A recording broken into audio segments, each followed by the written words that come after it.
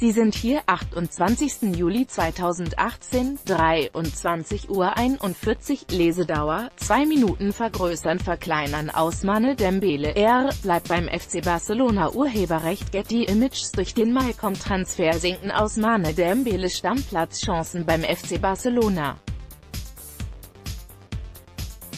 Die Katalanen planen dennoch fest mit dem früheren Dortmunder.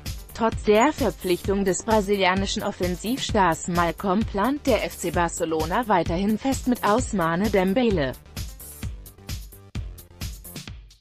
Ein Verkauf oder eine Ausleihe kommt nicht in Frage, wir wollen einen Konkurrenzkampf im Team.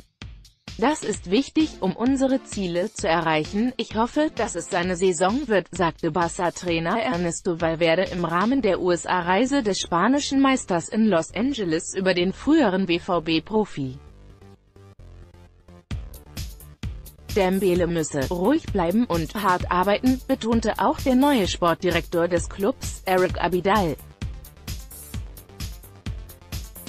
Barca hatte Dembele im vergangenen Sommer für 105 Millionen Euro von Borussia Dortmund verpflichtet. In seiner ersten Saison hatte der 21 Jahre alte Franzose mit Verletzungs- und Integrationsproblemen zu kämpfen, seine Bilanz, vier Tore und neun Vorlagen in 24 Einsätzen.